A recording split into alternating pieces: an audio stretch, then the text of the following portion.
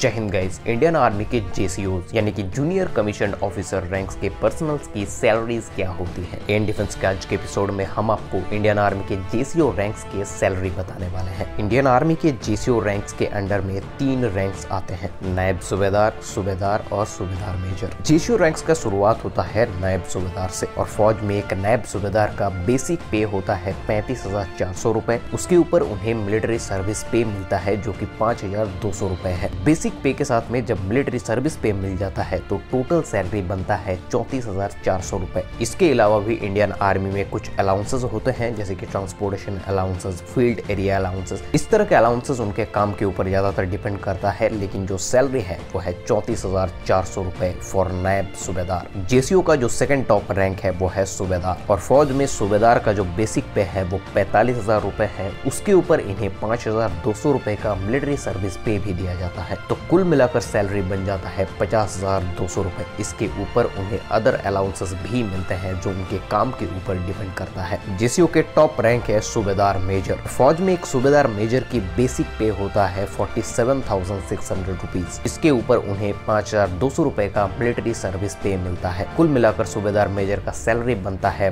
बावन हज़ार आठ सौ रूपए। इसके साथ में उन्हें इंडियन मिलिट्री के अदर अलाउंसेस भी मिलेंगे, काम के ऊपर डिपेंड करके। इंडियन आर्मी को इन सैलरीज के अलावा भी कुछ ऐसे फैसिलिटीज़ दी जाते हैं जो इंडिया की किसी भी गवर्नमेंट सर्विस में नहीं दिया जाता। अगर आप जानना चाहते हैं तो इसके ऊपर मैंने एक सेपरेट वीडियो बनाया हुआ है। आई बटन में लिंक है, वहाँ पर जाके वो वीडियो देख सकते हैं। आज मेरा गला थोड़ा खराब है, अगर समझाने के तरीके में या फिर बात करने की क्लियरिटी में कुछ प्रॉब्लम आई है तो हाथ जोड़कर मैं आप सबसे माफ़ी मांगना चाहता हूँ। क्योंकि मेरा व्यूअर्स मेरा सब्सक्राइबर ही मेरा भगवान है। और उन व्यूअर्स से मैं एक छोटा सा रिक्वेस्ट करना चाहता हूँ कि इस चैनल को प्लीज़ सब्सक्राइब करके बेल नोटिफिकेशन को प्रेस कर लीजिए, क्योंकि डिफेंस रिलेटेड वीडियोज़ इस चैनल में आपको मिलते रहेंगी। चलिए मिलते हैं आपसे अगले वीडियो में, तब तक के लिए जय हिंद, जय भारत।